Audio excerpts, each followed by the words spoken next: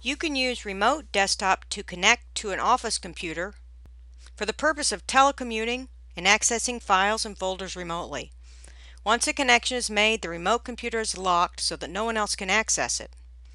While you are connected, you can do anything that you would be able to do if you were sitting in front of it, short of doing something like uh, pressing a physical button or picking something up from a printer. Here's how to get started. From the start screen, type remote desktop connection until you see it, and then click remote desktop connection.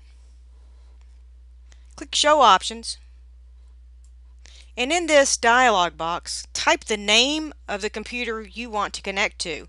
I'm connecting to a computer on a local network, so I don't have to type any kind of domain name or, or IP address or anything like that. So this is the simplest of ways to connect. And type the username. You can opt to save the credentials if you want. You can change the display setting, audio settings, you can cause a program to start when you connect.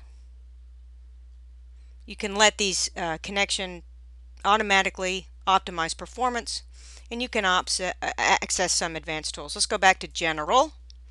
Notice I've input my username. I'm going to go ahead and click connect now. And I'm going to type in my password.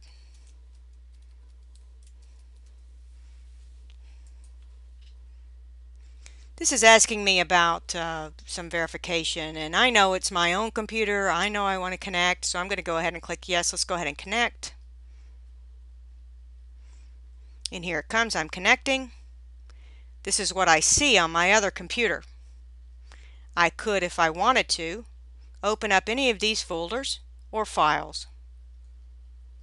If I maximize this window, I get this little screen here and I can restore it and still access what's on my current computer. When I'm ready to disconnect, there are lots of ways to do that. You can just click X. It'll say, are you sure you want to connect or disconnect? And you click OK.